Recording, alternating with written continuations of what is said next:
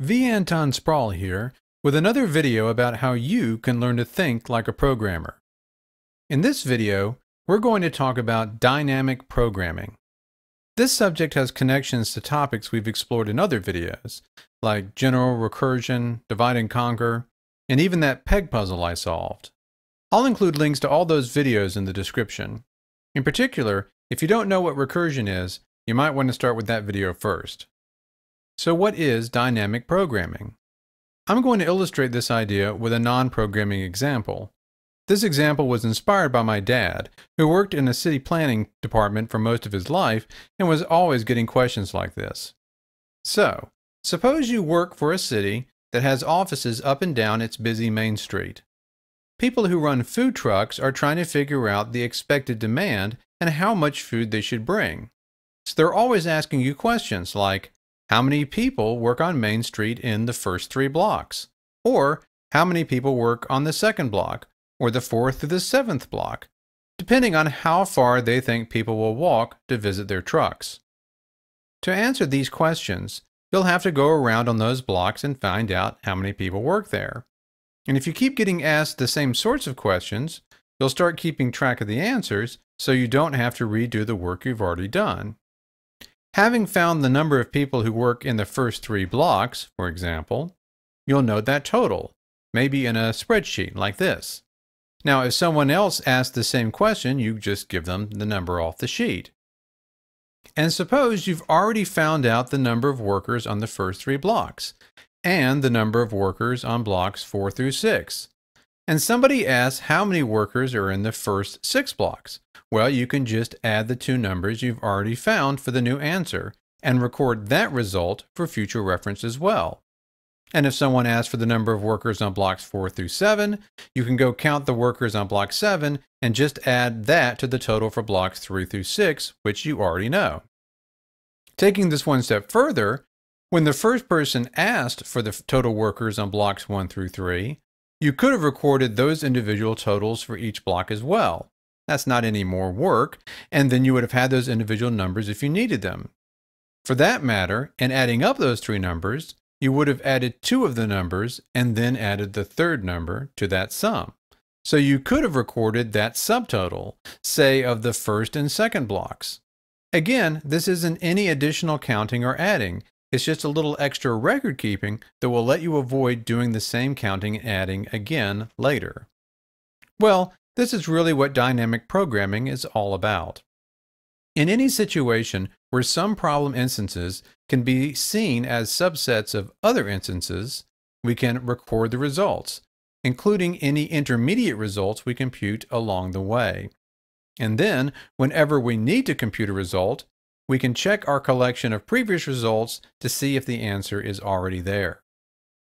Now, this idea is most beneficial when the solution to one subproblem can be used to help solve several larger problems. Let's see this in action. Here's a classic example of how dynamic programming can make recursion vastly more efficient. The Fibonacci sequence. In this sequence, the first two numbers are 1, and every other number is the sum of the previous two. Now suppose we decided to write a recursive function to compute a particular number in the Fibonacci sequence. That might look like this. As you can see, the function's code directly follows the definition of the Fibonacci sequence.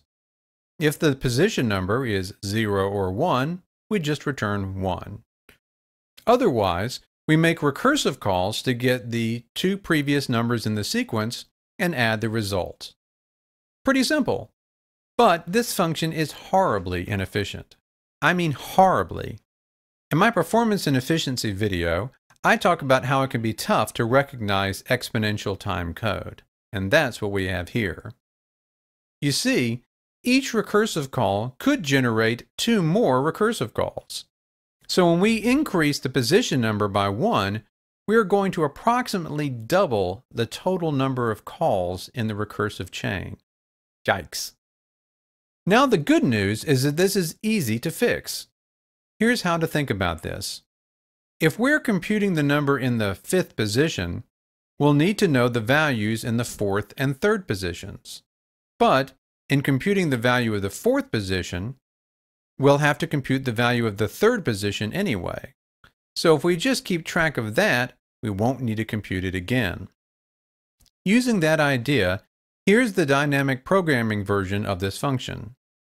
Note that we have a new parameter, which is the array we'll use to store the values in the Fibonacci sequence as we find them. Now, in C++, we could use what is known as a static array to hold these. But to make this code easier to read for non-C++ folks, and for testing, as you'll see, I made this a parameter. Now, the start of the function is the same as the full recursive version. If position is 0 or 1, we just return 1. Next, though, we check our Fibonacci sequence array. Back in the main function, I initialize this array to all negative 1s. So we can check and see if there's a negative 1 in this position in the array. And if not, it means we've already learned the value for this position, and we can just return it. If not, we'll have to make two recursive calls as we did before. Only we go ahead and store that sum in the Fibonacci sequence array for future use. Then we return the sum, again as in the first version. Now we could avoid actually making the second recursive call, because again, that result is going to already be in our Fibonacci sequence array at that point. And so that second recursive call is going to immediately return with the value from that array. But I just want to show the general idea here. By storing the result in the array and checking for the result, we can transform the original code into something much more efficient. How much more, you may ask? Well, here's my testing code. I have a loop to call both functions for a range of numbers from 0 to 44. I get a CPU timer before and after the calls to compute the elapsed time. Note that I am resetting the starting values array with all negative ones before each call to the dynamic programming version of the function, essentially making it forget all the values it learned from previous calls. Now in real use, you'd want to keep those previously learned values for even better performance, but I wanted to make the fairest comparison. So here's a test run. These numbers show the number of CPU ticks for each call, and a tick is less than a nanosecond. So the calls to the dynamic programming function are lightning fast, just a few nanoseconds. The recursive version is reasonably fast when the position number is low, but it gets bad in a hurry. This is real-time output here, and it's the recursive function that is making this slow. The recursive function is basically unusable for large arguments. So the performance with dynamic programming is linear, and for full recursion is exponential. But the thing is, you know, you can easily write a Fibonacci function that doesn't use recursion at all. So we don't really need dynamic programming to rescue us. So let's look at a problem where recursion really makes the function easier to write. And this is known as the knapsack problem. The idea is a thief has broken into a store, and the problem is he can only carry so much weight. In some versions of this problem, it's about size instead of weight, but that makes no sense. So I'm going with weight. Anyway, he can only carry so much weight pounds, kilograms, your unit of choice, but he wants to get out with the most valuable haul. Given how much each item weighs and how much it costs, how should he fill up his knapsack to maximize his ill gotten gains? And keep in mind that we can take as many of each item as we want. Now, you might think that we should just figure out which item has the highest cost to weight ratio and fill up with that, and then go from there with whatever's left over. But that will often not produce the optimal result. Here, for example, the heaviest item, uh, weight 7, cost 13, has the best ratio. But if our weight limit is 8, our best choice is to take the items with weight 5, cost 9, and weight 3, cost 5. Okay, here's the setup for the knapsack functions. I have a struct called weight value that holds the info for one item, the, the weight and the value. And here's where I set up an array of these structs for the functions to use. Here's a recursive function that computes the value of the optimal knapsack given how much weight our thief can carry and an array of item information. The last parameter is just indicating how many items are in that items array. Now, if you haven't done a lot of recursive programming, this function may seem a little mysterious. What we're doing is, we're trying each item in the item array to see if we can add it to our sack, if the weight of the item is below how much we can carry. If we can carry it, we make a recursive call to find the value of the optimal knapsack with the reduced weight capacity. So for example, if we could carry 20 pounds of stuff, and we're looking at an item that weighs 2 pounds, then we need to make a call to find out the maximum value we could get out of the remaining 18 pounds. And then we could add that value to the value of the 2 pound item to figure out the value of the whole sack if we made that choice. So we do that for all the items and keep track of which value is largest. This is a variation on the classic find the largest value loop. At the end, we return that max value. As with the full recursive Fibonacci function, though, this function is horribly inefficient. If we have five items in our array, for example, each recursive call could make up to five more recursive calls. Again, it won't exactly work out as bad as the word exponential implies, but it's bad. Now, dynamic programming. What I want you to see is that this is largely the same code. We have a new parameter, knapsack max value, which, as with Fibonacci, is going to store our previously found results, and which is initially filled with negative ones.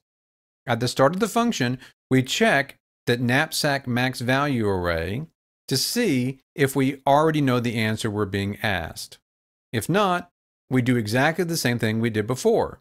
The only difference is, is right at the end, before we return max value, we stored that in the knapsack max value array for future reference.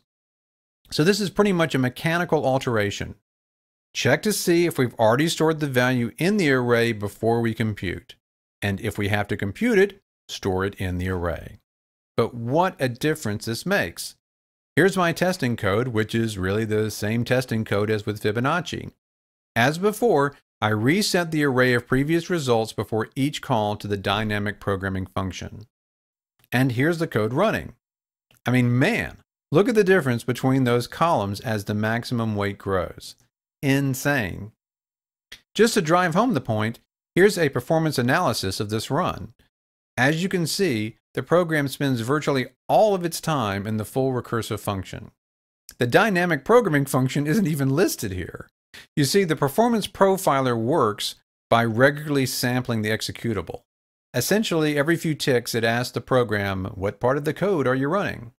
The dynamic programming function runs so fast that the profiler never actually catches it working. And compared to the Fibonacci sequence problem, the knapsack problem is a lot simpler to conceptualize with recursion than without. So at dynamic programming, we're getting a solution that's easier to create and with good performance. Now just keep in mind, when we use dynamic programming, we have to make an array to hold the results. And this function is going to be limited by that array. To make the function robust, we should add code to check that our function's input isn't so large that we're going to be accessing off the end of the array. Or we could go one step further and create a wrapper function that dynamically creates and initializes an array of just the right size before calling our dynamic programming recursive function. But I'll leave that as an exercise. So, that's it. I hope you give this technique a try the next time you're writing some recursive code and let me know how it works for you. Please do like, share, and subscribe if this video was helpful, and feel free to suggest new topics. Thanks for watching.